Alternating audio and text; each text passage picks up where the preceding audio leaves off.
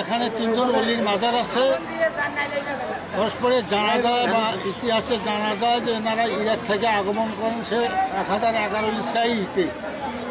ওনারা এখানে ইসলাম প্রচার করার পর এখানে মসজিদ স্থাপিত করে গিয়েছিলেন এবং সেই মসজিদ আবার কালের বিবর্তনে বিধর্মীদের শাসন আমলে বিলীন হয়ে গিয়েছিল।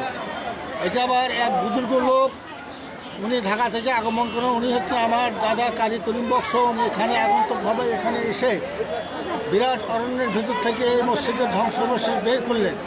বের করার পর জমিদারের আর্থিক সাহায্যে তৎকালে জমিদার দলুদ্দিন মিয়া জমিদার, তার আর্থিক সাহায্যে আবার এটা পুনঃসংস্কার করা হয়। সে সংস্কার তারিখটি হচ্ছে তেরোশো সাত সাল বাংলা। এবং মসজিদের ভিত্তি স্থাপিত যে আল্লাহ অলি করেছে সেটা এক হাজার এগারো ইসাইতে। এই তিনজন অলির নাম হচ্ছে পীর শাহ সুলতান গাজী মীর মোশাররফ হোসেন সরফুদ্দিন হোসাইন। এই তিনজন। এখন কি অবস্থা? পরিবেশ কেমন? এখন পরিবেশ গত দুই বছর করোনার মাধ্যমে বা করোনার কারণে এখানে লোকজন উপস্থিতি নিতান্ত খুবই কম ছিল। এবার আবার দেখা যাচ্ছে যে লোকজনের উপস্থিতি মোটামুটি ভালোই।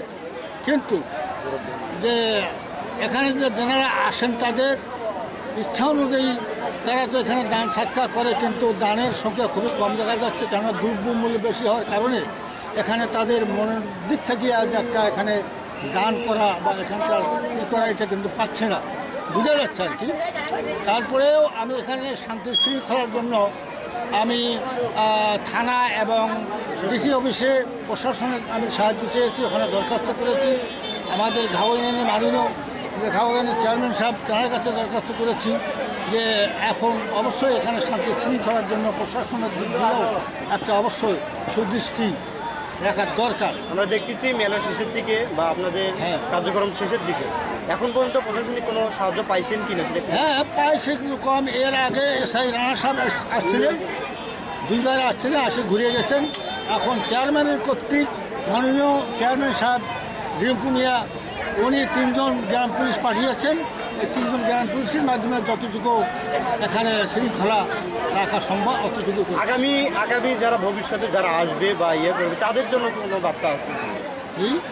আগামীতে যারা আসবে আপনারা যখন গত হবেন আগামীতে যদি এটা আরও উন্নত করার যদি চিন্তা হ্যাঁ, অবশ্যই আমাদের আকুল আবেদন বর্তমান যে আমাদের বাংলাদেশ সরকার মহামান্য যে আওয়ামী লীগ সরকার তার প্রতি দৃষ্টি আকর্ষণ করে বলছে যে এইটা যে আগামীতে যাতে আরও সুন্দর পরিবেশে চলতে থাকেন, এটা এর দিক দিয়ে অবশ্যই যে সরকারিভাবে একটা সুদৃষ্টি আমি কামনা করতেছি। কেননা এটা তো গাইবান্ধার জেলার একটা ঐতিহ্য, উত্তরবঙ্গের ঐতিহ্য। যদি সরকারিভাবে এখানে সুদৃষ্টি না রাখা যায়, তাহলে এই এই এই ঐতিহ্য আমি ব্যক্তিগতভাবে এটা ধরে রাখা সম্ভব হবে না। এখানে তো হাজার হাজার লোকের সমাবেশ হয়। তারা ইচ্ছা খুশির মতো পাঁচ টাকা, দশ টাকা দান করে যে আমরা তো কোনো বাধ্যতামূলক আমরা এখানে কোনো আদায় করি না কালেকশন করি না।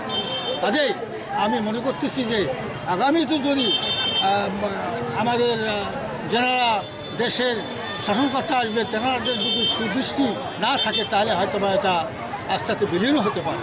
আমি তাই আশা করি ইনশাল্লাহ আকুল আবেদন জানাচ্ছি যে বর্তমান যে আমাদের আওয়ামী সরকার, মহামান্য যে মাননীয় প্রধানমন্ত্রী সাহেব, তার কাছেও আমার আকুল আবেদন। তিনি যেন তার মিডিয়া এবং আমাদের গাইবান্ধা জেলার যে মাননীয় সংসদ সদস্য হ্যাঁ কেনার মাধ্যমে যদি এখানে একটা সুদৃষ্টি রাখতে, রাখেন, তাই হয়তো বা এটা আরও ভবিষ্যতে উজ্জ্বল হবে এবং এখানে যে বিভিন্ন ডিস্ট্রিক্ট থেকে লোক যে এখানে আগমন করে, তাদের একটা সুশৃঙ্খল এবং শান্তিপূর্ণভাবে এখানে তারা চলাফেরা করতে পারবে এখান থেকে তাদের মনের বাসনা কামনা পূর্ণ করে যেতে পারে। তাই? একজন যে ধরেন আমি একটা নিয়ত করব কি নিয়তে যাব বা কি নিয়তে হুজুরদের কাছে পরামর্শ নেব কীভাবে?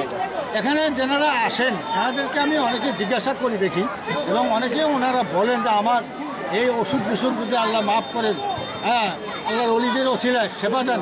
তাহলে আমি দুইটা মুরুক্তি দশটার চাল আমি এখানে দেবো। খিচুড়ি বিতরণ করব, ফকির মিষ্টিকে দেবো মাদারি দেবো, পাঁচ, দশ টাকা দান করব সব পঞ্চাশ টাকা দান করব এই নিয়েতে তারা আসে। অনেকের এমন মামলা মোকদ্দমা কঠিন, বিপদে পড়েছে, সেই বিপদের জন্য তারা মান্যত করে। এবং অনেকে নিঃসন্তান, সন্তান নেই, এর জন্য তারা মান্যত করে।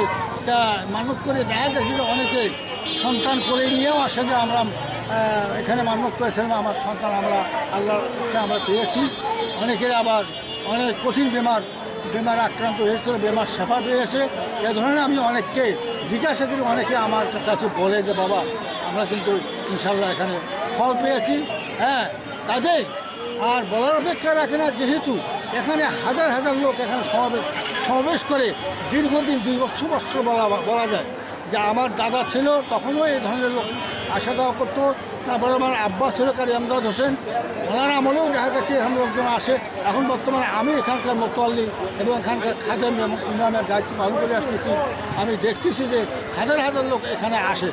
যদি এখানে কোনো তারা এমন কোনো ফল না পেত কোনো যদি উপকার না পেত তাহলে এখানে কোনো লোক আসতো না। কাজে এখানে ইহাই বলার অপেক্ষা রাখে না যে এম, এখানে যারা উপকৃত হন তারাই তো আসে উপকৃত হয় বলে তো মানুষ এখানে আসে। তাছাড়া তো আমি ইচ্ছা করি কাউকে ডাকি না এবং কোনো হ্যাম্পিল পোস্টার আমরা করি না। প্রতি বৈশাখ মাসের শুরু থেকে নিয়ে শেষ পর্যন্ত এখানে বাংলাদেশের বিভিন্ন ডিস্ট্রিক্ট থেকে লোক আগমন আপনার নাম হ্যাঁ আমার নাম কারি মোহাম্মদ আলিয়া আশরাফি।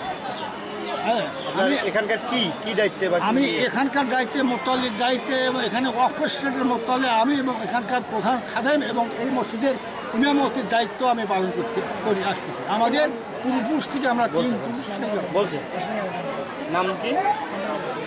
নামটা আরেকবার বলুন তো আমার নাম কারি মোহাম্মদ আলিয়া আশরাফি আলিয়া আশরাফ হ্যাঁ।